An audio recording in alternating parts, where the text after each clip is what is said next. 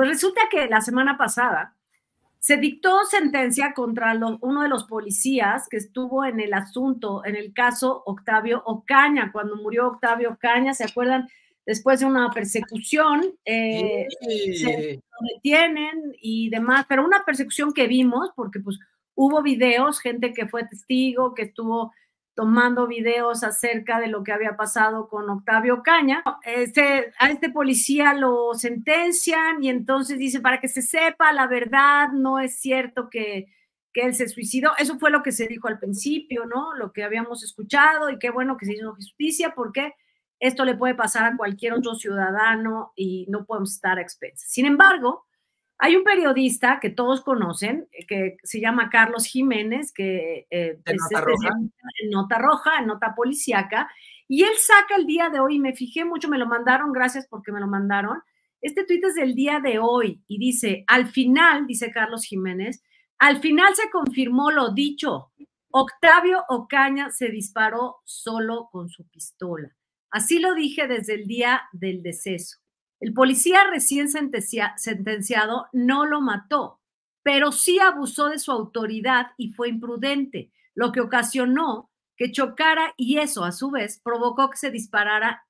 Esto la verdad le da, perdón, pero los resultados no, no le da, no, cambia, no, no regresa a la vida de Octavio, pero sí cambia mucho en esta percepción de que pues no es lo mismo eh, considerar y pensar y suponer que hay una persona, que un policía a sangre fría le disparó a Octavio Caña, y otra cosa es que a la hora de acorralarlo, a la hora del choque, se haya, haya sucedido esto del disparo, ¿no? No sé ustedes qué opinen. Yo lo que me preguntaría es que de todas las entrevistas que he visto a la hermana de Ocaña, que la investigación que arma, que, que la investigación que pagó el papá y que se llevó por, por todo el tiempo que lleva muerto este eh, Octavio, este, habían surgido datos nuevos, me, me explicó, y obviamente ya se había llegado, la fiscalía era la que había aceptado todas las pruebas de la investigación que, que mandó girar el papá. Acabo de ver a la hermana y la hermana con una seguridad habla de otra cosa. Eh, yo lo que podría pensar, porque no, no, ni estoy, ni tengo los papeles, ni sé, ni nada, sí lo dijo este Carlos Jiménez desde un principio así, pero a mí no me da ninguna certeza que porque lo dijo así, viene una investigación, están hablando de ciento y tantos testigos. Sí, sí, sí, sí. Del papá. Y que luego Carlos Jiménez agarre y diga sentadito, pues esto fue lo que ocurrió al principio, lo que, lo que yo dije, y cerramos con esto. A mí me parece, pero tú no puedes poner en un tuit eso cuando tú has seguido un caso y no poner los argumentos de peso para que tú estés diciendo algo que contradice completamente lo que salió o acaba de salir a decir la hermana de Ocaña, perdón. A, mí me parece que de verdad todos los días se esfuerzan por crear una oda a la impunidad en este país. Eh, cuando no es por un lado, es por el otro.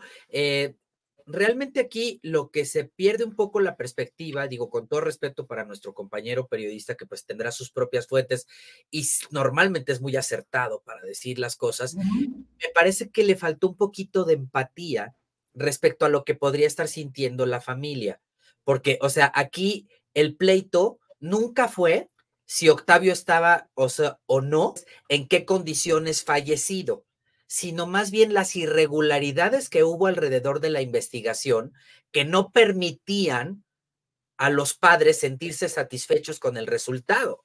Entonces, si ya pescaron a uno de los policías por la razón que haya sido y resulta culpable, la verdad es que la teoría de la pistola que se disparó o no, o, o que Octavio en paz descanse se disparó solo, me parece que ya viene un poco redundante y de sobra.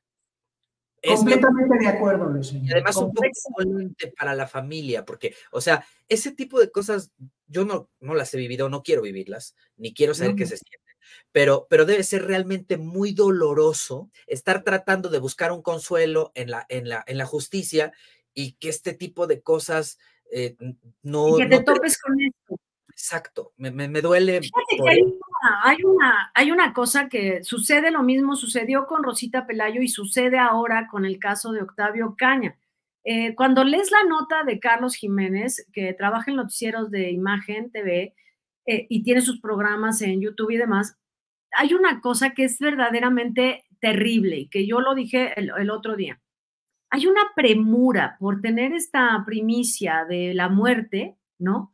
Eh, que eso es a lo que yo me refiero, no con un reportero que va con una nota, no, pero sí con las ganas de, ven como lo dije yo, este, este es el chiste de este tuit, no es que efectivamente la hermana declaró que, eh, como dijo Claudia, ella oyó lo que dijo, eh, lo que dijo la hermana y por supuesto, pues estamos de lado porque suena ilógica la teoría de que Octavio Caña se haya, se solo, pero sí hay una constante aquí, como todos los medios que anticiparon la muerte de Rosita Pelayo. Si bien puede ser cierto que eh, yo, Rosita Pelayo, a lo mejor estuviera desahuciada o, estaba muy grave, sí, pero ¿por qué la necesidad de sentir que eres el primero en decirlo?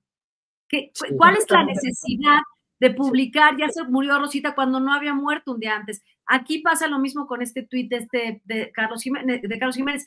¿Cuál es tu afán o qué ganas diciendo, como lo dije yo desde el principio, cuando todo lo demás apunta a que no es cierto, aunque lo hayas dicho? No, sé si, no sé si estén de acuerdo en eso. Y sucedió, lo dijimos con Maribel Guardia, no con todos los medios, pero sí con muchos, que tenían que especular acerca de la muerte de Julián cuando estaba muerto, ya que te importa. O sea, ¿por qué tienes que revolcarte en el dolor de una madre doliente? No sé qué piensen ustedes. Pero aquí, pero aquí, Lupis, es más grave. Yo te voy a decir por qué. Porque qué respeto puedes tener tú. Te digo, mi, mi, mi punto con ese cuate es, da un argumento de peso, güey. Claro. Pero ahorita que está saliendo a decir esto, porque no se vale agarrar y decir, lo dije, lo dije yo primero, lo dije y lo refuerzo. No, da argumentos, porque a mí me parece terrible que a todos nos consta lo que hizo la familia Ocaña para llegar al veredicto que salió a decir la hermana, que no creo que la señora, la señorita, perdón, porque pues es una chava, salga a mentir cuando alguien puede salir a desmentirla. Entonces, el, el agarrar y decir, yo en lo personal, yo no creo que este cuate haya dado, y, además, al final de cuentas, se perdió una vida, ya da igual, ya da igual, ¿eh? Ya da igual. te digo, o sea, a ver, ya murió. ¿Cuál es tu premura? ¿Qué quieres salir a decir? Yo gané, yo fui el que dije, fui el primero. ¿De qué se trata? O sea, es meter ruido a algo que ha llevado años al público estar al pendiente de esta investigación, a los papás de Ocaña que no han podido seguir sus vidas para poder llegar a la verdad de ellos con una investigación que tengo entendido que fueron ciento y tantos testigos. Wow. Este cuate, sin un argumento válido para mí, se avienta en un tuit, pues háganle como quieran y... Efectivamente, cualquier periodista soñamos con una primicia con una exclusiva, la buscamos, la le buscan la posibilidad, por supuesto, pero hay determinadas situaciones que deberían ser limitantes para, para esa hambre informativa.